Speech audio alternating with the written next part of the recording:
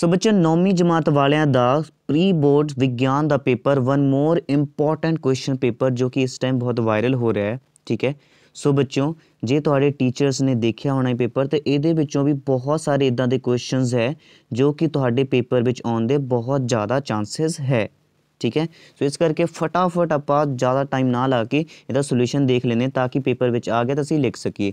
ਬਾਕੀ ਬੱਚੇ, ਮੈਂ ਪਤਾ ਕੀਤਾ ਤੇ ਇਹ ਪੇਪਰ ਤੁਹਾਡਾ ਫਾਈਨਲ ਪੇਪਰ ਹੈ ਫਾਈਨਲ ਬੋਰਡ ਦਾ, ਠੀਕ ਹੈ, ਜਿਹੜਾ ਕਿ ਪਿਛਲੇ ਸਾਲ ਮਤਲਬ ਕਿ 2023 ਵਿੱਚ ਫਾਈਨਲ ਬੋਰਡ ਵਿੱਚ ਆਇਆ ਹੋਇਆ ਸੀਗਾ। ਸੋ ਬੱਚੇ, ਆਪਾਂ ਦੇਖ ਲੈਂਦੇ ਹਾਂ ਤਾਂ ਕਿ ਇੰਪੋਰਟੈਂਟ ਸਾਰੇ ਕੁਐਸਚਨ ਇਹਦੇ ਵਿੱਚੋਂ ਨਾ ਪਾਇਆ ਗਿਆ ਹੋਵੇ। ਚਲੋ ਆਪਾਂ ਫਟਾਫਟ ਸੋਲੂਸ਼ਨ ਦੇਖਦੇ ਹਾਂ ਤਾਂ ਕਿ ਰਿਵੀਜ਼ਨ ਵੀ ਹੋ ਜਾਵੇ। ਸੋ ਬੱਚੋ ਫਰਸਟ ਪ੍ਰਸ਼ਨ ਹੈ ਕਿ ਕਿਸੇ ਪਦਾਰਥ ਵਿੱਚ ਮਾਦੇ ਦੀ ਮਾਤਰਾ ਨੂੰ ਕੀ ਕਹਿੰਦੇ ਹਨ? ਸੋ ਬੱਚੇ ਆਨਸਰ ਆਏਗਾ ਪੁੰਜ। ਸੈਕੰਡ ਬੱਚੇ, ਹੇਠ ਲਿਖਿਆਂ ਵਿੱਚੋਂ ਕਿਹੜਾ ਟਿੰਡਨ ਪ੍ਰਭਾਵ ਨੂੰ ਦਰਸਾਏਗਾ? ਸੋ ਆਨਸਰ ਆਏਗਾ ਸਟਾਰਚ ਦਾ ਕੋਲ ਠੀਕ ਹੈ? ਬਾਕੀ ਬੱਚੇ, ਜੇ ਤੁਹਾਨੂੰ ਲੱਗਦਾ ਕਿ ਕੋਈ ਵੀ ਕੁਐਸਚਨ ਦਾ ਆਨਸਰ ਗਲਤ ਹੈ, ਤਾਂ ਮੈਨੂੰ ਕਮੈਂਟ ਕਰਕੇ ਜਰੂਰ ਦੱਸਿਆ ਕਰੋ। ਬਹੁਤ ਹੀ ਵਧੀਆ ਲੱਗਦਾ ਜਿਹੜੇ ਬੱਚੇ ਦੱਸਦੇ ਆ, ਕਿਉਂਕਿ ਬੱਚੇ, ਮੈਂ ਵੀ ਤੁਹਾਡੇ ਵਾਂਗ ਹੀ ਆ ਤੇ ਜਲਦੀ ਜਲਦੀ ਕਿਉਂਕਿ ਤੁਹਾਨੂੰ ਪੇਪਰ ਦੇਣਾ ਹੁੰਦਾ ਆ, ਸੋ ਆਨਸਰ ਬਣਾਉਣਾ ਹੁੰਦਾ ਹੈ, ਠੀਕ ਹੈ? ਸੋ ਇੱਕ ਅੱਧਾ ਕੁਐਸਚਨ ਬਾਈ ਚਾਂਸ ਰਹਿ ਵੀ ਜਾਂਦਾ, ਤੇ ਕਮੈਂਟ ਜਰੂਰ ਕਰ ਦਿਆ ਕਰੋ, ਠੀਕ ਹੈ? ਸੋ ਬੱਚਿਓ ਨੈਕਸਟ ਦੇਖੋ। ਥਰਡ ਆਪਰੇਸ਼ਨ ਹੈ ਕਿ ਹੇਠ ਲਿਖਿਆਂ ਵਿੱਚੋਂ ਸ਼ੁੱਧ ਪਦਾਰਥ ਦੀ ਪਛਾਣ ਕਰੋ। ਸਿੱਧਾ ਆਏਗਾ ਬੱਚੇ ਲੋਹਾ। ਅੱਗੇ ਹੈ ਬੱਚੇ ਆਵੋਗਾਦਰੋ ਸੰਖਿਆ ਦਾ ਸਹੀ ਮੁੱਲ ਕੀ ਹੈ? ਸੋ ਬੱਚੇ ਆਵੋਗਾਦਰੋ ਦਾ ਸੰਖਿਆ ਦਾ ਸਹੀ ਮੁੱਲ ਹੈ, ਇਹ ਰਹੀ ਹੈ 6.202 ਮਲਟੀਪਲਾਈ ਬਾਈ 100 ਦਾ 23 ਘਾਤ, ਠੀਕ ਹੈ? ਇਹ ਦੇਖੋ ਬੱਚੇ, ਤਿੰਨਾਂ ਵਿੱਚ ਡਿਫਰੈਂਸ ਕੀ ਹੈ? ਇਹਦੇ ਵਿੱਚ -23 ਹੈ, ਇਹਦੇ ਵਿੱਚ 22 ਹੈ, ਇਹਦੇ ਵਿੱਚ -22 ਹੈ। ਸੋ ਪਹਿਲਾ ਆਪਸ਼ਨ ਰਾਈਟ ਆਣਾ ਹੈ, ਠੀਕ ਹੈ? ਉਸ ਤੋਂ ਬਾਅਦ ਬੱਚਿਓ, ਪੰਜਵਾਂ ਹੈ ਕਿ ਸੀ ਆਈ ਆਇਨ ਵਿੱਚ ਸੰਯੋਜਨ ਇਲੈਕਟ੍ਰੋਨਾਂ ਦੀ ਸੰਖਿਆ ਕਿੰਨੀ ਹੁੰਦੀ ਹੈ? ਸੋ ਬੱਚਿਓ, ਇਹਦੀ ਸੰਖਿਆ ਹੁੰਦੀ ਹੈ 18 ਨੈਕਸਟ ਹੈ ਬੱਚਿਓ, ਦੇਖੋ ਨੈਕਸਟ ਪ੍ਰਸ਼ਨ ਛੇਵਾਂ ਹੈ ਕਿ ਮੈਮਲਸ ਤੰਤਾਰੀ ਜੀਵ, ਠੀਕ ਹੈ? ਇਹਦੇ ਵਿੱਚੋਂ ਕਿਹੜੇ ਹਨ? ਦੇਖੋ, ਆਂਡੇ ਦਿੰਦੇ ਹਨ, ਸਰੀਰ ਵਾਲੇ ਹੁੰਦੇ ਹਨ, ਸਕੇਲ ਵਾਲੀ ਚਮੜੀ ਹੁੰਦੀ ਹੈ ਕਿ ਉਪਰੋਕਤ ਸਾਰੇ। ਬੱਚੇ ਜਿਨ੍ਹਾਂ ਦੇ ਥਨ ਹੁੰਦੇ ਆ, ਉਹ ਆਂਡੇ ਦਿੰਦੇ ਆਂਡੇ ਨਹੀਂ, ਮਤਲਬ ਕਿ ਸਰੀਰ ਵਾਲੇ ਹੁੰਦੇ ਹਨ। ਠੀਕ ਹੈ? ਸੋ ਆਂਡੇ ਨਹੀਂ ਦਿੰਦੇ ਉਹ। ਸਰੀਰ ਵਾਲੇ ਹੁੰਦੇ ਹਨ। ਓਕੇ ਸੋ ਨੈਕਸਟ ਬੱਚੇ 7th ਕਿਹੜਾ ਗ੍ਰਾਫ ਵਿਰਾਮ ਅਵਸਥਾ ਨੂੰ ਦਰਸਾਉਂਦਾ ਹੈ? ਸੋ ਬੱਚੋ ਇਹਦਾ ਡੀ ਆਪਸ਼ਨ ਰਾਈਟ ਆਣਾ ਆ, ਇਹ ਵਾਲਾ ਗ੍ਰਾਫ। ਉਸ ਤੋਂ ਬਾਅਦ ਬੱਚਿਓ, ਅਠਵਾਂ ਪ੍ਰਸ਼ਨ ਹੈ ਕਿ ਸਵੈਚਾਲਿਤ ਵਾਹਨਾਂ ਦਾ ਕਿਹੜਾ ਮੀਟਰ ਦੂਰੀ ਨੂੰ ਮਾਪਦਾ ਹੈ? ਬੱਚੇ ਸਪੀਡ ਨੂੰ ਸਪੀਡੋਮੀਟਰ ਮਾਪਦਾ ਹੈ। ਠੀਕ ਆ ਥਰਮਾਮੀਟਰ ਬੁਖਾਰ ਨੂੰ, ਬੈਰੋਮੀਟਰ ਕਿਸ ਨੂੰ ਮਾਪਦਾ ਹੈ? ਇਕਨੋਮੀ ਨੂੰ। ਐਂਡ ਬੱਚੋ ਸਾਡਾ ਜਿਹੜਾ ਓਡੋਮੀਟਰ ਹੈ, ਠੀਕ ਹੈ ਓਡੋਮੀਟਰ ਉਹ ਸਾਡਾ ਦੂਰੀ ਮਾਪਦਾ ਹੈ। ਚਨੋਮਾ ਪ੍ਰਸ਼ਨ, ਕਿਸੇ ਪੁੰਜ m ਵਾਲੀ ਵਸਤੂ ਜਿਸ ਦਾ ਵੇਗ v ਹੈ, ਦਾ ਸੰਵੇਗ ਕਿੰਨਾ ਹੋਵੇਗਾ? ਸੋ ਬੱਚੇ ਇਹਦਾ ਆਨਸਰ d ਹੈ ਉਹਦਾ ਠੀਕ ਹੈ? ਹਾਂ, d ਆਣਾ ਹੈ। ਵੈਸੇ ਆ ਵੀ ਹੁੰਦਾ, ਪਰ d ਆਣਾ ਆਪਸ਼ਨ ਰਾਈਟ ਠੀਕ ਹੈ? ਇੱਕ ਵਾਰੀ ਦੇਖ ਲਿਓ। ਉਸ ਤੋਂ ਬਾਅਦ ਬੱਚਿਓ ਨੈਕਸਟ ਦਸਵਾਂ ਪ੍ਰਸ਼ਨ ਹੈ ਕਿ ਨਿਮਨ ਵਿੱਚੋਂ ਕਿਸ ਦੀ ਜ਼ਰੂਰਤ ਸਭ ਤੋਂ ਜ਼ਿਆਦਾ ਹੈ? ਰਬਰ ਦੀ ਗੇਂਦ ਉਸ ਦੇ ਆਕਾਰ ਦਾ ਪੱਥਰ ਇੱਕ ਸਾਈਕਲ ਜਾਂ ਇੱਕ ਰੇਲ ਬੱਚੇ ਇੱਕ ਰੇਲ ਓਬਵੀਅਸ ਹੈ ਠੀਕ ਹੈ ਰੇਲ ਗੱਡੀ ਉਸ ਤੋਂ ਬਾਅਦ ਬੱਚੇ ਸਾਡਾ ਹੈ 11ਵਾਂ ਮਨੁੱਖੀ ਕੰਨ ਦੀ ਸੁਣਨਯੋਗ ਸੀਮਾ ਕਿੰਨੀ ਹੈ ਬੱਚੇ 20000 ਹਰਟਜ਼ 20 ਹਰਟਜ਼ ਤੋਂ 20000 ਹਰਟਜ਼ ਤੱਕ ਠੀਕ ਹੈ ਨੈਕਸਟ ਹੈ ਬੱਚੇ ਕੀ 12ਵਾਂ ਧੁਨੀ ਦਾ ਉੱਚਾਪਨ ਨਿਰਧਾਰਿਤ ਕੀਤਾ ਜਾਂਦਾ ਹੈ ਠੀਕ ਹੈ ਧੁਨੀ ਦਾ ਉੱਚਾਪਨ ਤੁਸੀਂ ਪਤਾ ਹੀ ਆ ਆਪਾਂ ਕੀਤਾ ਸੀਗਾ ਨਾ ਪਿਛਲੇ ਪੇਪਰ 'ਚ ਆਯਾਮ ਇਹਦਾ ਆਨਸਰ ਆ ਸੋ ਕੁਝ ਤਾਂ ਕੰਮ ਹੋਇਆ ਪੇਪਰ ਪੜਨ ਦਾ। ਬੱਚੇ 13ਵਾਂ ਹੈ ਸੈੱਲ ਦੀ ਖੋਜ ਕਿਸ ਨੇ ਕੀਤੀ? ਸੋ ਬੱਚੇ ਸੈੱਲ ਦੀ ਖੋਜ ਰਾਬਰਟ ਹੁੱਕ ਨੇ ਕੀਤੀ ਹੈ। ਉਸ ਤੋਂ ਬਾਅਦ ਬੱਚੇ 14ਵਾਂ ਹੈ, ਸ਼ੁੱਕਰ ਤੇ ਮੰਗਲ ਗ੍ਰਹਿ ਤੇ ਕਿਸ ਗੈਸ ਦੀ ਮਾਤਰਾ ਸਭ ਤੋਂ ਵੱਧ ਹੈ? ਸੋ ਬੱਚੇ ਇਹਦਾ ਵੀ ਕਾਰਬਨ ਡਾਈਆਕਸਾਈਡ ਆਨਸਰ ਆਣਾ ਹੈ। ਉਸ ਤੋਂ ਬਾਅਦ ਬੱਚੇ 15ਵਾਂ ਹੈ ਕਿ ਵਾਯੂਮੰਡਲ ਵਿੱਚ ਕਿਸ ਗੈਸ ਦੀ ਪਰਤ ਪਰਾਵੈਂਗਨੀ ਕਿਰਨਾਂ ਨੂੰ ਰੋਕਦੀ ਹੈ? ਤੁਹਾਨੂੰ ਪਤਾ ਹੀ ਹੋਣਾ ਓਜ਼ੋਨ ਠੀਕ ਹੈ? ਓਜ਼ੋਨ ਪਰਤ। ਉਸ ਤੋਂ ਬਾਅਦ ਬੱਚੇ 16ਵਾਂ ਪ੍ਰਸ਼ਨ ਹੈ ਕਿ ਬਹੁਮੰਤਵੀ ਪੋਸ਼ਕ ਤੱਤਾਂ ਦੀ ਮਾਤਰਾ। ਬੱਚੇ ਬਹੁਮੰਤਵੀ ਪੋਸ਼ਕ ਤੱਤ ਦੀ ਮਾਤਰਾ ਕਿੰਨੀ ਹੈ? ਸੋ ਬੱਚੇ 7 ਹੈ। ਠੀਕ ਹੈ? ਉਸ ਤੋਂ ਬਾਅਦ ਬੱਚੇ 17ਵਾਂ ਹੈ ਕਿ ਹੇਠ ਲਿਖਿਆਂ ਵਿੱਚੋਂ ਤਾਜ਼ੇ ਪਾਣੀ ਦੀ ਮੱਛੀ ਦੀ ਕਿਸਮ ਕਿਹੜੀ ਹੈ? ਤਾਜ਼ੇ ਪਾਣੀ ਵਿੱਚ ਇਹਨਾਂ ਵਿੱਚੋਂ ਬੱਚੇ ਕਿਹੜਾ ਮੱਛੀ ਪਲਦਾ ਹੈ? ਸੋ ਬਚਲੇ ਕਟਲਾ ਕਟਲਾ ਜਿਹੜੀ ਮੱਛੀ ਹੈ ਉਹ ਤਾਜ਼ੇ ਪਾਣੀ ਵਿੱਚ ਪਲਦੀ ਹੈ। ਦੇਖਿਆ ਤੁਸੀਂ ਕਟਲਾ ਮੱਛਲੀ? ਉਸ ਤੋਂ ਬਾਅਦ ਬੱਚਿਓ ਸਾਡਾ ਸਟਾਰਟ ਹੁੰਦਾ ਦੋ ਅੰਕਾਂ ਵਾਲੇ ਪ੍ਰਸ਼ਨ ਬਹੁਤ ਇੰਪੋਰਟੈਂਟ ਹੈ ਠੀਕ ਹੈ 12 ਪ੍ਰਸ਼ਨ ਕਰਨੇ ਆ ਜੋ ਕਿ 24 ਨੰਬਰ ਦਾ ਹੈ ਸੋ ਦੇਖੋ ਬੱਚਿਓ ਅ, 18ਵਾਂ ਪ੍ਰਸ਼ਨ ਹੈਗਾ ਕਿ ਹੇਠ ਲਿਖੇ ਤਾਪਮਾਨ ਨੂੰ ਸੈਲਸੀਅਸ ਵਿੱਚ ਬਦਲਣਾ ਹੈ ਠੀਕ ਹੈ। ਦੇਖੋ ਬੱਚੇ ਕੈਲਵਿਨ ਵਿੱਚ ਹੈ ਤੇ ਇਹਨੂੰ ਸੈਲਸੀਅਸ ਵਿੱਚ ਬਦਲਣਾ ਹੈ। ਸੋ ਬੱਚੇ 300 300 ਦੇ ਵਿੱਚੋਂ ਬੱਚੇ ਤੁਸੀਂ ਕੀ ਕਰਨਾ ਆ? 273 ਮਾਈਨਸ ਕਰ ਦੇਣਾ ਹੈ ਠੀਕ ਹੈ? ਸੋ ਕਿੰਨਾ ਆਨਸਰ ਆ ਜਾਏਗਾ? 27 ਆ ਜਾਏਗਾ।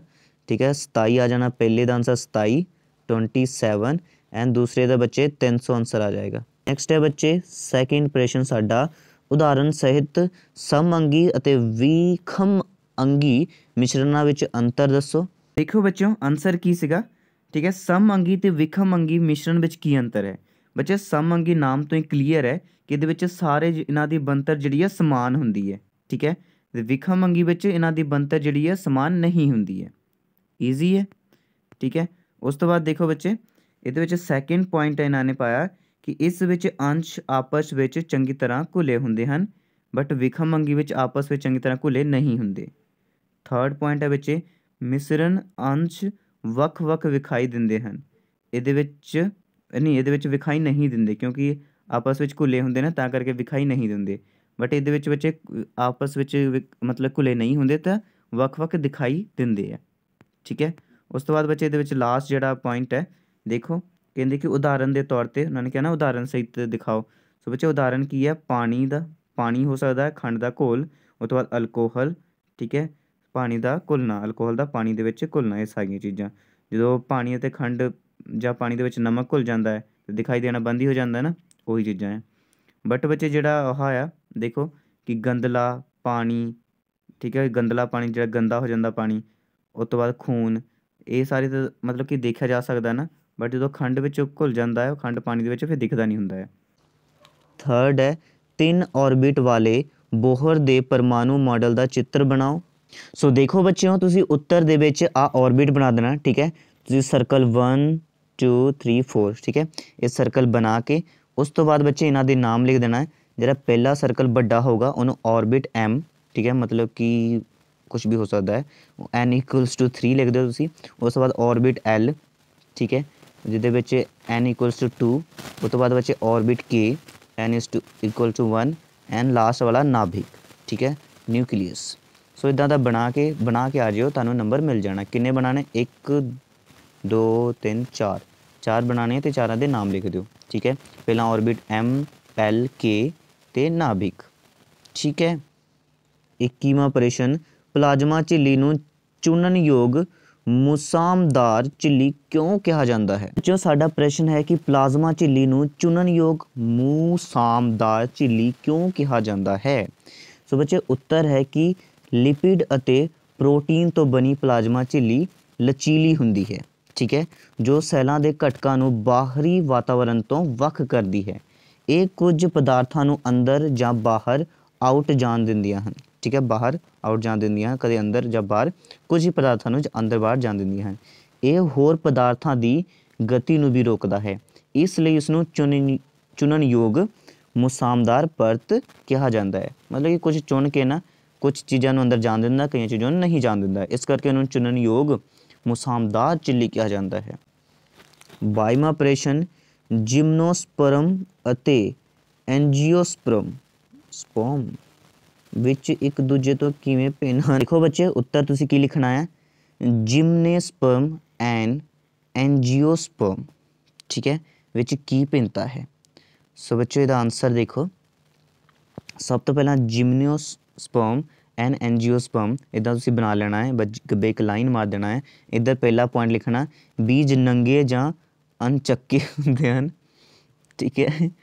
ਉਸ ਤੋਂ ਬਾਅਦ ਬੱਚੇ ਇੱਧਰ ਹੈ ਕਿ ਬੀਜ ਟਕੇ ਹੁੰਦੇ ਹਨ, ਇੱਧਰ ਨੰਗੇ ਹੁੰਦੇ ਆ ਸਪਰਮ ਵਾਟਰੇ ਇੱਧਰ ਟਕੇ ਹੁੰਦੇ ਆ, ਚਲੋ ਵੀ। ਉਸ ਤੋਂ ਬਾਅਦ ਬੱਚੇ, ਇੱਧਰ ਦੇਖੋ ਸੈਕਿੰਡ ਹੈ ਕਿ ਇਹਨਾਂ ਬੀਜਾਂ ਦੇ ਫਲਾਂ ਦੁਆਰਾ ਢਕੇ ਹੋਏ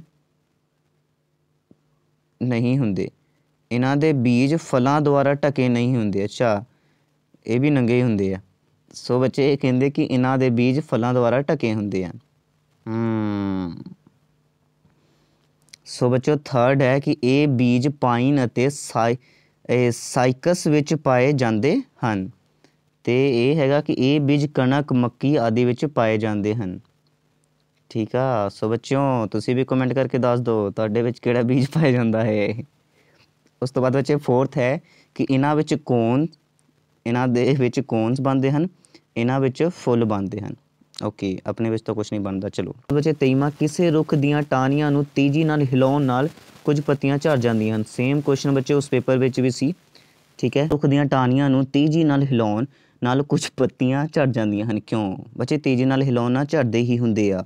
ਸੋ ਦੇਖੋ ਉੱਤਰ ਹੈ ਕਿ ਟਾਹਣੀਆਂ ਨੂੰ ਹਿਲਾਉਣ ਤੋਂ ਪਹਿਲਾਂ ਟਾਹਣੀ ਅਤੇ ਪੱਤੇ ਦੋਨੋਂ ਵਿਰਾਮ ਅਵਸਥਾ ਵਿੱਚ ਹੁੰਦੇ ਹਨ। ਠੀਕ ਹੈ? ਹਿਲਾਉਣ ਨਾਲ ਟਾਹਣੀਆਂ ਗਤੀ ਵਿੱਚ ਆ ਗਈ, ਗਈਆਂ ਜਦੋਂ ਕਿ ਪੱਤੀ ਵਿਰਾਮ ਅਵਸਥਾ ਕਾਰਨ ਟਾਹਣੀ ਤੋਂ ਵੱਖ ਹੋ ਕੇ ਡਿੱਗ ਗਏ। ਸੋ ਉਹੀ ਗੱਲ ਬੱਚੇ ਆ ਪਿਛਲੇ ਕੁਐਸਚਨ ਵਿੱਚ ਕੀਤਾ ਸੀ।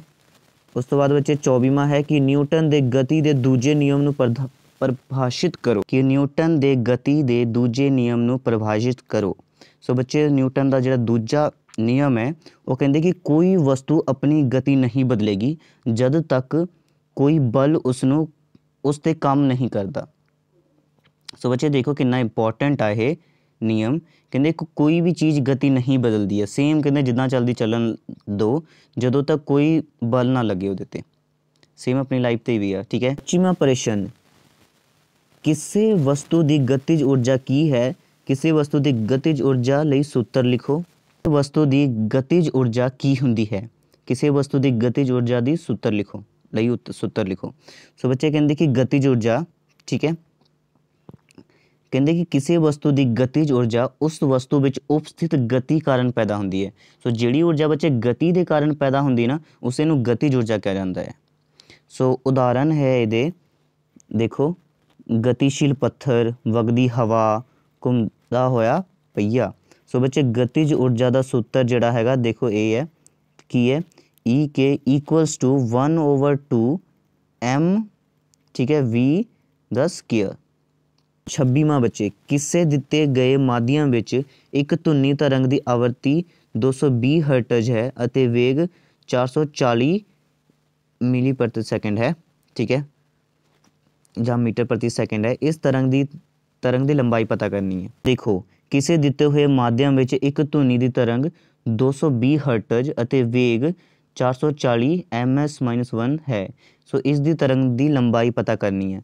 ਸੋ ਬੱਚਿਓ, ਪਹਿਲਾਂ ਜੋ ਜੋ ਚੀਜ਼ਾਂ ਦਿੱਤੀਆਂ ਹੋਈਆਂ, ਲਿਖ ਲੈਣਾ। ਧੁਨੀ ਦਾ ਵੇਗ 440 ms 1 ਠੀਕ ਹੈ, ਧੁਨੀ ਦੀ ਆਵਰਤੀ 220 ਹਰਟਜ਼, ਉਸ ਤੋਂ ਬਾਅਦ ਪਤਾ ਕਰਨਾ ਹੈ ਧੁਨੀ ਦੀ ਲੰਬਾਈ, ਠੀਕ ਹੈ। ਸੋ ਅਸੀਂ ਜਾਣਦੇ ਹਾਂ, ਕੀ ਜਾਣਦੇ ਹਾਂ?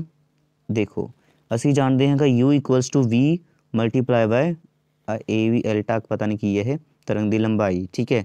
ਸੋ ਬੱਚੇ, ਆਪਾਂ ਕੀ ਕਰ ਦੇਣਾ ਆ? U ਦੀ ਵੈਲਿਊ ਭਰ ਦੇਣੀ ਹੈ ਠੀਕ ਹੈ?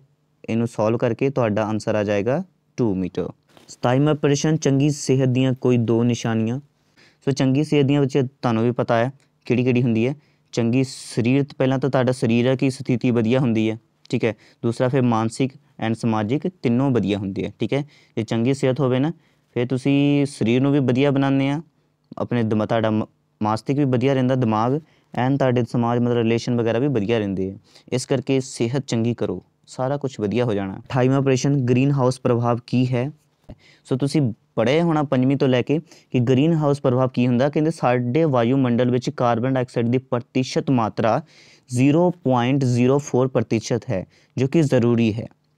ਕਹਿੰਦੇ ਕਾਰਬਨ ਡਾਈਆਕਸਾਈਡ ਦੇ ਅਣੂ ਵਿੱਚ ਧਰਤੀ ਦੀ ਸਤਹ ਤੋਂ ਪਰਾਵਰਤਿਤ ਕਿਰਨਾਂ, ਵਿਕਿਰਨਾਂ ਨੂੰ ਸੋਖਣ ਦੀ ਸਮਰੱਥਾ ਹੁੰਦੀ ਹੈ, ਜਿਸ ਨਾਲ ਵਾਯੂਮੰਡਲ ਗਰਮ ਹੋ ਜਾਂਦਾ ਹੈ। ਇਸ ਤਰ੍ਹਾਂ ਸੋਖਿਤ ਵਿਕਿਰਨਾਂ ਵਾਯੂਮੰਡਲ ਦੇ ਗਰਮ ਹੋਣ ਨੂੰ ਗ੍ਰੀਨ ਹਾਊਸ ਪ੍ਰਭਾਵ ਕਹਿੰਦੇ ਹਨ।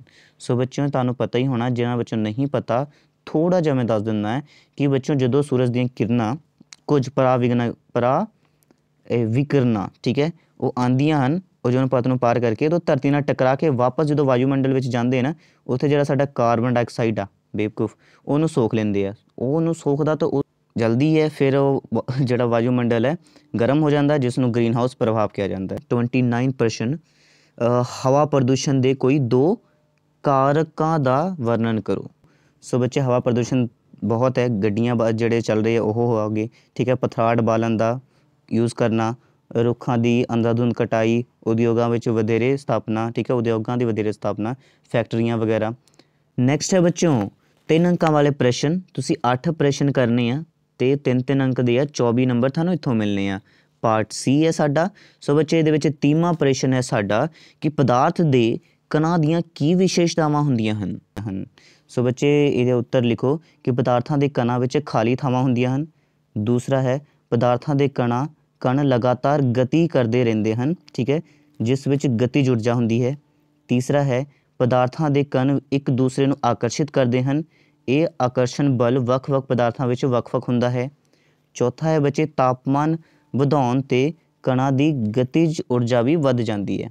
ਸੋ ਬਹੁਤ ਈਜ਼ੀ ਹੈ ਬੱਚੇ 4 ਪੁਆਇੰਟ ਲਿਖ ਦੂੰਗੇ ਨੰਬਰ ਤੁਹਾਨੂੰ ਮਿਲ ਜਾਣੇ ਤੋਂ ਬਾਅਦ 31ਵਾਂ ਪ੍ਰਸ਼ਨ ਹੈ ਚਿੰਨ ਐਚ ਡੀ ਤੇ ਟੀ ਹਰੇਕ ਵਿੱਚ ਮਿਲਣ ਵਾਲੇ ਤਿੰਨ ਅਵਪਰਮਾਣੁਕ ਕਣਾਂ ਨੂੰ ਸਾਰਣੀਬੱਧ ਕਰੋ। ਸੋ ਦੇਖੋ ਬੱਚਿਓ ਆਨਸਰ DTH ਵਿੱਚ ਹਾਈਡਰੋਜਨ ਦੇ ਤਿੰਨ ਸਮਾਨਾਰਥਕ ਅਤੇ ਜਿਨ੍ਹਾਂ ਦੀ ਪਰਮਾਣੂ ਸੰਖਿਆ 1 ਹੈ, ਪਰੰਤੂ ਮਹੱਤਵਪੂਰਨ ਭਾਰ ਹਨ, ਠੀਕ ਹੈ?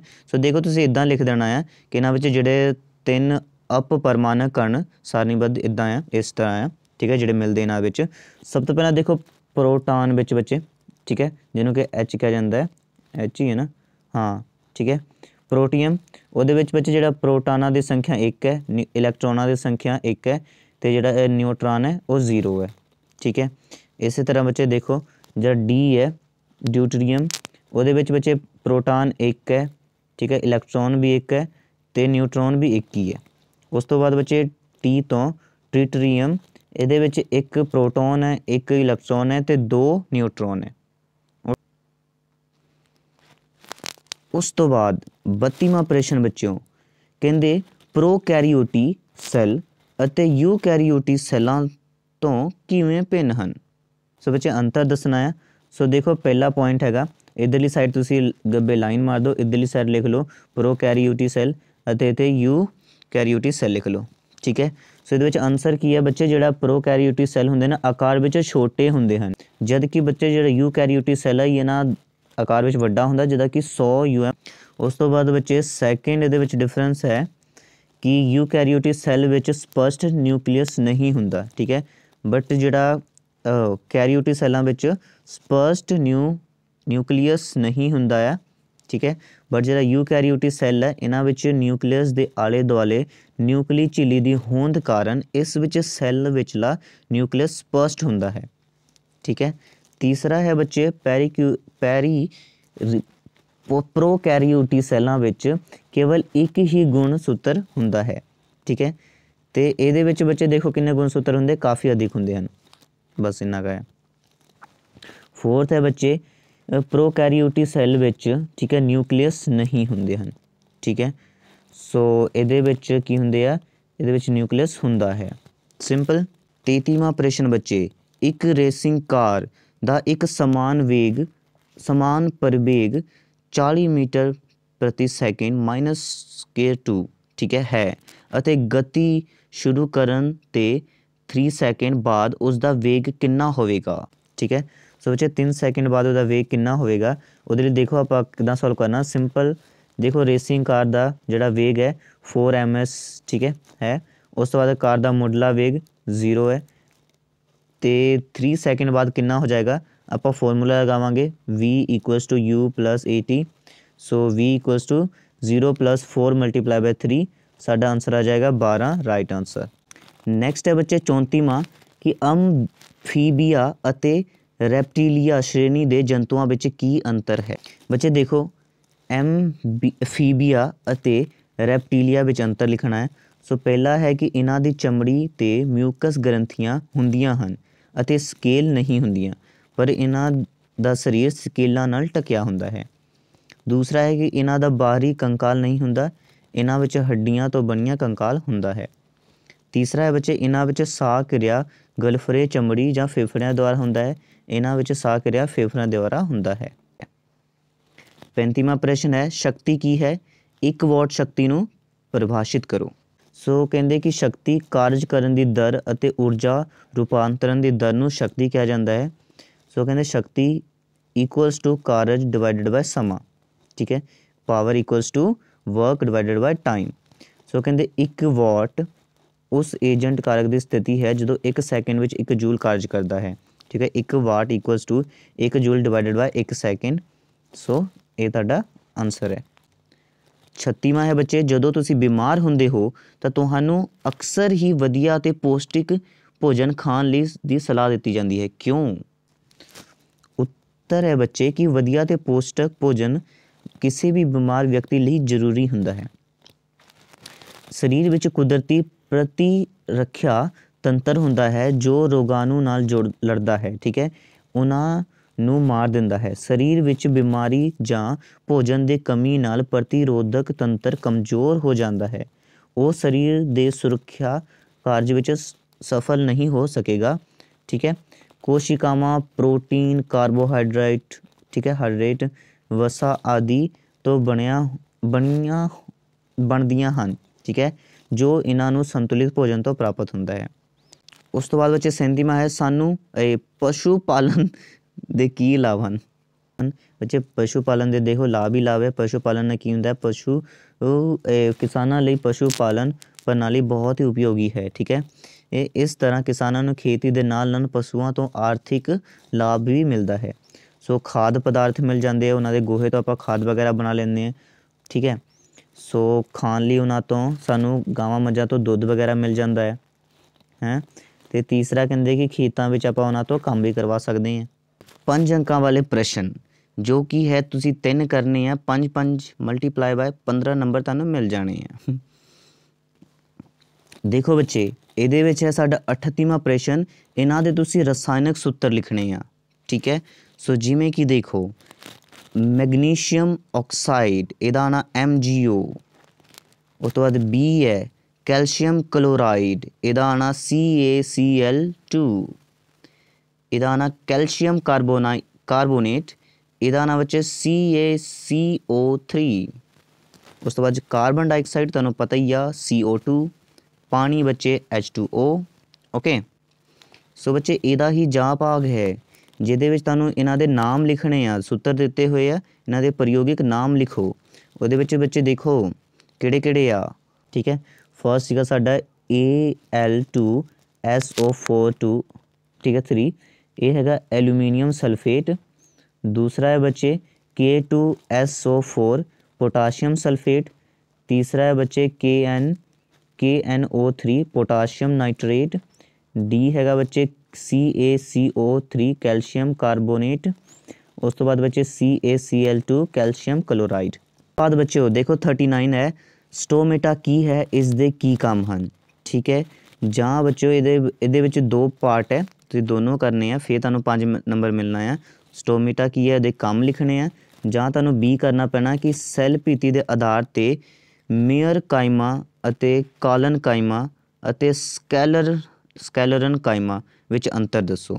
ਠੀਕ ਹੈ? ਤੇ ਜਾਂ ਪਾ ਕੇ ਆ, ਜਾਂ ਉਹ ਕਰ ਲਓ, ਜਾਂ ਇਹ ਦੋਨੋਂ ਕਰ ਲਓ।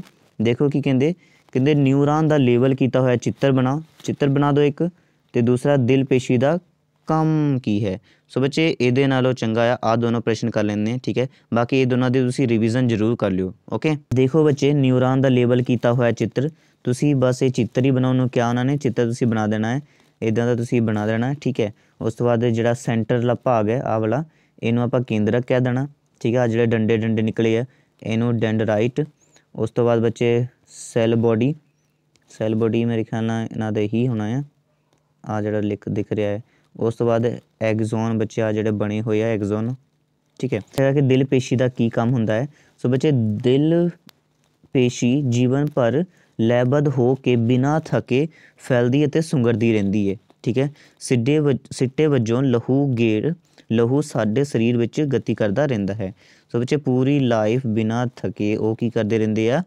ਇਹ ਲਹੂ ਪੰਪ ਕਰਦੀ ਰਹਿੰਦੀ ਹੈ। ਸੁੰਗਰਦੀ ਰਹਿੰਦੀ ਹੈ, ਫੈਲਦੀ ਰਹਿੰਦੀ ਹੈ, ਜਿਸ ਨਾਲ ਪੂਰੇ ਸਰੀਰ ਵਿੱਚ ਲਹੂ ਜਾਂਦਾ ਵੀ ਹੈ ਤੇ ਵਾਪਸ ਵੀ ਆਉਂਦਾ ਹੈ ਤੇ ਦਿਲ ਫੰਕਸ਼ਨ ਕਰਦਾ ਰਹਿੰਦਾ ਨੈਕਸਟ ਹੈ ਬੱਚੇ 40ਵਾਂ ਗੁਰੂਤਾ ਆਕਰਸ਼ਣ ਦਾ ਸਰਵ ਵਿਆਪੀ ਨਿਯਮ ਲਿਖੋ। ਇਹ ਆਪਾਂ ਪਿਛਲੇ ਸੈਂਪਲ ਪੇਪਰ ਵਿੱਚ ਕੀਤਾ ਸੀਗਾ। ਸੋ ਜਿਨ੍ਹਾਂ ਬੱਚਿਆਂ ਨੇ ਨਹੀਂ ਦੇਖਿਆ ਪੇਪਰ ਜ਼ਰੂਰ ਦੇਖ ਲਿਓ ਅੱਗੇ ਬੱਚੇ ਸਰਵਵਿਆਪੀ ਗੁਰੂਤਾ ਆਕਰਸ਼ਣ ਨਿਯਮ ਦਾ ਕੀ ਮਹੱਤਵ ਹੈ ਗੁਰੂਤਾ ਆਕਰਸ਼ਣ ਦਾ ਸਰਵਵਿਆਪੀ ਨਿਯਮ ਲਿਖੋ ਸਰਵਵਿਆਪੀ ਨਿਯਮ ਗੁਰੂਤਾ ਆਕਰਸ਼ਣ ਨਿਯਮ ਦਾ ਕੀ ਮਹੱਤਵ ਹੈ ਠੀਕ ਹੈ ਸੋ ਬੱਚੇ ਅੰਤ ਕੀ ਹੈ ਦੇਖੋ ਸ- ਇਹ ਆਪਾਂ ਪਹਿਲਾਂ ਵੀ ਕੀਤਾ ਸੀ ਕਿ ਸ- ਗੁਰੂਤਾ ਆਕਰਸ਼ਣ ਦਾ ਸਰਵਵਿਆਪੀ ਨਿਯਮ ਕੀ ਹੈ ਕਹਿੰਦੇ ਇਸ ਬ੍ਰਹਿਮੰਡ ਵਿੱਚ ਹਰੇਕ ਵਸਤੂ ਦੂਜੀ ਵਸਤੂ ਨੂੰ ਇੱਕ ਬਲ ਨਾਲ ਆਕਰਸ਼ਿਤ ਕਰਦੀ ਹੈ ਠੀਕ ਹੈ ਇਹ ਬਲ ਉਹਨਾਂ ਵਸਤੂਆਂ ਦੇ ਪੁੰਜਾਂ ਦੇ ਗੁਣਨਫਲ ਦੇ ਸਿੱਧਾ ਅਨੁਪਾਤੀ ਹੁੰਦਾ ਹੁੰਦਾ ਹੈ, ਠੀਕ ਹੈ? ਅਤੇ ਉਹਨਾਂ ਵਸਤੂਆਂ ਦੇ ਕੇਂਦਰਾਂ ਵਿਚਕਾਰ ਦੂਰੀ ਦੇ ਵਰਗ ਉਲਟ ਅਨੁਪਾਤ, ਅਨੁਪਾਤੀ ਹੁੰਦਾ ਹੈ। ਇਹ ਬਲ ਹਮੇਸ਼ਾ ਉਹਨਾਂ ਦੋਨਾਂ ਵਸਤੂਆਂ ਦੇ ਕੇਂਦਰਾਂ ਨੂੰ ਮਿਲਾਉਣ ਲਈ ਮਿਲਾਉਣ ਵਾਲੀ ਰੇਖਾ ਦੀ ਦਿਸ਼ਾ ਵਿੱਚ ਲੱਗਦਾ ਹੈ। ਸੋ ਬੱਚੋ ਸਿੰਪਲ ਜਾਂ ਲਾਈਨ ਤਾਂ ਇਹੀ ਹੈ ਕਿ ਕਹਿੰਦੇ ਕਿ ਗੁਰੂਤਾਕਰਸ਼ਣ ਦਾ ਸਰਵਵਿਆਪੀ ਨਿਯਮ ਇਹੀ ਹੈ ਕਿ ਬ੍ਰਹਿਮੰਡ ਵਿੱਚ ਹਰ ਇੱਕ ਵਸਤੂ ਦੂਸਰੀ ਵਸਤੂ ਨੂੰ ਬਲ ਦੇ ਨਾਲ ਆਕਰਸ਼ਿਤ ਕਰਦੀ ਹੈ। ਠੀਕ ਹੈ? ਉਹਦੇ ਨਾਲ ਆਕਰਸ਼ਿਤ ਹੋ ਜਾਂਦੀ ਹੈ, ਬਲ ਦੇ ਨਾਲ ਆਕਰਸ਼ਿਤ ਕਰਦੀ ਰਹਿੰਦੀ ਹੈ। ਉਸ ਤੋਂ ਬਾਅਦ ਬੱਚੇ ਕਹਿੰਦੇ ਕਿ ਸਰਵਵਿਆਪੀ ਗੁਰੂਤਾਕਰਸ਼ਣ ਨਿਯਮ ਦੀ ਮਹੱਤਤਾ ਸਰਵਵਿਆਪੀ ਇਹ ਆਕਰਸ਼ਣ ਨਿਯਮ ਦੇ ਪ੍ਰਕਿਰਤੀ ਵਿੱਚ ਵਾਪਰ ਰਹੀਆਂ ਘਟਨਾਵਾਂ ਦੀ ਸਫਲਤਾਪੂਰਵਕ ਵਿਆਖਿਆ ਕੀਤੀ ਗਈ ਹੈ। ਠੀਕ ਹੈ? ਇਹਨਾਂ ਵਿੱਚੋਂ ਹੇਠ ਦਿੱਤੀਆਂ ਗਈਆਂ ਹਨ। ਸੋ ਦੇਖੋ ਬੱਚੇ, ਮਹੱਤਤਾ ਦਾ ਇਹ ਹੈ ਕਿ ਪਹਿਲਾ ਹੈ ਕਿ ਉਹ ਬਲ ਜੋ ਸਾਨੂੰ ਧਰਤੀ ਨਾਲ ਬੰਨ ਕੇ ਰੱਖਦਾ ਹੈ, ਉਹ ਗੁਰੂਤਾਕਰਸ਼ਣ ਹੀ ਹੈ। ਦੂਸਰਾ ਹੈ ਬੱਚੇ ਕਿ ਗ੍ਰਹਿਆਂ ਦੀ ਸੂਰਜ ਦੁਆਲੇ ਗਤੀ, ਤੀਸਰਾ ਹੈ ਚੰਦ ਦੀ ਧਰਤੀ ਦੁਆਲੇ ਗਤੀ, ਚੌਥਾ ਹੈ ਚੰਨ ਅਤੇ ਸੂਰਜ ਖਿੱਚ ਕਾਰਨ ਸਮੁੰਦਰ ਵਿੱਚ ਜਵਾਹਰ ਭਾਟਾ ਦਾ ਆਉਣਾ। ਠੀਕ ਹੈ, ਸੋ ਬੱਚੇ ਚੰਦ ਦੇ ਕਰਕੇ ਹੀ ਸਾਡੇ ਸਮੁੰਦਰ ਦੇ ਪਾਣੀ ਟਿਕਿਆ ਹੋਇਆ ਹੈ ਧਰਤੀ ਤੇ, ਨਹੀਂ ਤਾਂ ਉਹ ਸਾਡੇ ਕੋਲ ਆ ਜਾਣਾ ਸੀ। ਇਹਦਾ ਜਾਂ ਪਾ ਕੇ ਆ ਕਿ ਵਸਤੂ ਦੇ ਪੁੰਜ ਅਤੇ ਭਾਰ ਵਿੱਚ ਕੀ ਅੰਤਰ ਹੈ? ਕਿ ਵਸਤੂ ਦੇ ਪੁੰਜ ਅਤੇ ਭਾਰ ਵਿੱਚ ਕੀ ਅੰਤਰ ਹਨ? ਸੋ ਬੱਚੇ, ਵਸਤੂ ਦੇ ਪੁੰਜ ਅਤੇ ਭਾਰ ਵਿੱਚ ਅੰਤਰ ਵਸਤੂ ਵਿੱਚ ਉਪਸਥਿਤ ਪਦਾਰਥ ਦੀ ਮਾਤਰਾ ਉਸ ਦਾ ਪੁੰਜਕ ਹੁੰਦਾ ਹੈ। ਠੀਕ ਹੈ? ਦੇਖੋ ਬੱਚੇ, ਕਹਿੰਦੇ ਕਿ ਵਸਤੂ ਵਿੱਚ ਉਪਸਥਿਤ ਪਦਾਰਥ ਦੀ ਮਾਤਰਾ, ਠੀਕ ਹੈ ਉਸ ਦਾ ਪੁੰਜਕ ਹੁੰਦਾ ਹੈ। ਵਸਤੂ ਦਾ ਪੁੰਜ, ਠੀਕ ਹੈ ਉਸ ਦੀ ਜੜਤਾ ਦਾ ਮਾਪ ਹੁੰਦਾ ਹੈ। ਠੀਕ ਹੈ? ਜੇਕਰ ਵਸਤੂ ਦਾ ਪੁੰਜ ਵੱਧ ਹੋਵੇ ਤਾਂ ਉਸ ਦੀ ਜੜਤਾ ਵੱਧ ਹੋਵੇਗੀ। ਵਸਤੂ ਦਾ ਪੁੰਜ ਸਥਿਰ ਰਹਿੰਦਾ ਹੈ ਅਤੇ ਸਥਾਨ ਬਦਲਣ ਨਾਲ ਨਹੀਂ ਬਦਲਦਾ। ਦੂਜੇ ਪਾਸੇ ਬੱਚੇ ਜਿਹੜਾ ਵਸਤੂ ਦਾ ਭਾਰ ਹੁੰਦਾ ਹੈ ਉਹ ਬਲ ਹੈ ਕਿ ਉਹ ਧਰਤੀ ਵੱਲ ਬਲ ਕਿੰਨਾ ਲਗਾ ਰਿਹਾ ਹੈ। ਠੀਕ ਹੈ। ਸੋ ਇਹ ਧਰਤੀ ਵੱਲ ਆਕਰਸ਼ਿਤ ਹੁੰਦੀ ਹੈ। ਭਾਰ ਦੀ ਐਸਆਈ ਇਕਾਈ ਕੀ ਹੈ? ਨਿਊਟਨ ਹੈ। ਠੀਕ ਹੈ। ਅ, ਕਿਸੇ ਅ, ਕਿਸੇ ਦਿੱਤੇ ਹੋਏ ਸਥਾਨ ਤੇ ਵਸਤੂ ਦਾ ਭਾਰ ਉਸ ਦਾ ਪੁੰਜ ਤੇ ਸਿੱਧਾ ਅਨੁਪਾਤੀ ਹੁੰਦਾ ਹੈ ਅਤੇ ਗੁਰੁੱਤਾ ਵੇਗ ਤੇ ਨਿਰਭਰ ਕਰਦਾ ਹੈ। ਇਸ ਨੂੰ W ਨਾਲ ਦਰਸਾਇਆ ਜਾਂਦਾ ਹੈ। ਇਹ ਖੜਵੀਂ ਦਿਸ਼ਾ ਵਿੱਚ ਦੇ ਹੇਠਾਂ ਵੱਲ ਲੱਗਦਾ ਹੈ। ਇਸ ਨੂੰ ਦੇਖੋ, ਕਹਿੰਦੇ ਇਸ ਨੂੰ ਕਮਾਨੀ ਤੁਲਾ ਨਾਲ ਨਾਪਿਆ ਜਾਂਦਾ ਹੈ। ਠੀਕ ਹੈ, ਵਸਤੂ ਦਾ ਭਾਰ ਸਥਾਨ ਬਦਲਣ ਨਾਲ ਬਦਲ ਜਾਂਦਾ ਹੈ। ਜਿਵੇਂ ਕਿ ਤੁਹਾਨੂੰ ਪਤਾ ਹੈ, ਸਪੇਸ ਵਿੱਚ ਜਾਵਾਂਗੇ ਤਾਂ ਉੱਥੇ ਸਾਡਾ ਭਾਰ ਹੀ ਨਹੀਂ ਹੁੰਦਾ ਹੈ। ਠੀਕ ਹੈ ਚੰਦ ਤੇ ਥੋੜਾ ਹੁੰਦਾ ਹੈ। 1/6 ਹੈ, ਤਾਂ ਪਤਾ ਹੀ ਹੈ ਤੁਹਾਨੂੰ। ਠੀਕ ਹੈ ਇਸ ਵਿੱਚ ਦਿਸ਼ਾ ਅਤੇ ਪਰ ਪਰਿਮਾਣ ਦੋਨੋਂ ਹੁੰਦੇ ਹਨ। ਸੋ ਆਹੀ ਕੁਛ ਬੱਚੇ, ਇੱਕ ਵਾਰੀ ਪੜ੍ਹ ਲਓ, ਚੰਗੀ ਤਰ੍ਹਾਂ ਸਮਝ ਲਓ, ਗੱਲ ਖਤਮ। ਇਹਦਾ ਨਾਲ ਹੀ ਹੈ ਕਿ ਕਿਸੇ ਵਸਤੂ ਦਾ ਚੰਨ ਤੇ ਭਾਰ, ਧਰਤੀ ਦੇ ਭਾਰ ਦਾ 1/6 ਗੁਣਾ ਕਿਉਂ ਹੁੰਦਾ ਹੈ? ਚੰਨ ਤੇ ਭਾਰ, ਧਰਤੀ ਦੇ ਭਾਰ ਦਾ 1/6 ਗੁਣਾ ਕਿਉਂ ਹੁੰਦਾ ਹੈ? ਸੋ ਕਹਿੰਦੇ ਵਸੇ ਵਸਤੂ ਦਾ ਚੰਨ ਤੇ ਭਾਰ, ਧਰਤੀ ਦੇ ਭਾਰ ਦਾ 6 ਗੁਣਾ। ਹੋਣ ਦਾ ਰੀਜ਼ਨ ਇਹ ਹੀ ਆ ਕਿ ਚੰਨ ਦਾ ਪੁੰਜ ਧਰਤੀ ਦੇ ਪੁੰਜ ਦਾ 1/100ਵਾਂ ਭਾਗ ਹੈ। ਅਤੇ ਇਸ ਦਾ ਅਰਧ ਵਿਆਸ ਧਰਤੀ ਦੇ ਅਰਧ ਵਿਆਸ ਦਾ 1/4 ਹੈ। ਇਸ ਲਈ ਵਸਤੂ ਦੇ, ਵਸਤੂ ਤੇ ਚੰਨ ਦਾ ਗੁਰੂਤਾਕਰਸ਼ਣ ਧਰਤੀ ਦੇ ਗੁਰੂਤਾਕਰਸ਼ਣ ਦਾ 1/6 ਭਾਗ ਹੁੰਦਾ ਹੈ। ਓਕੇ। ਸੋ ਬੱਚਿਓ, ਵੀਡੀਓ ਨੂੰ ਇੱਕ ਵਾਰੀ ਦੁਬਾਰਾ ਦੇਖ ਲੈਣਾ ਹੈ ਤੇ ਸਮਝ ਲੈਣਾ ਸਾਰੇ ਪੇਪਰ ਵਿੱਚੋਂ ਕੋਈ ਵੀ ਤੁਹਾਨੂੰ ਕੁਐਸਚਨ ਪੇਪਰ ਆ ਸਕਦਾ ਹੈ, ਠੀਕ ਹੈ? ਸੋ ਪੇਪਰ 1 ਵੀ ਜਰੂਰ ਦੇਖ ਲਿਓ। ਡਿਸਕ੍ਰਿਪਸ਼ਨ ਵਿੱਚ ਲਿੰਕ ਹੈ। ਬਾਕੀ ਵੀਡੀਓ ਨੂੰ ਲਾਈਕ ਕਰ ਦਿਓ ਤੇ ਇੱਕ ਵਧੀਆ ਜਿਹਾ ਕਮੈਂਟ ਕਰ ਦਿਓ। So keep learning keep smiling next paper ਦੀ ਤਿਆਰੀ ਕਰਦੇ ਹਾਂ।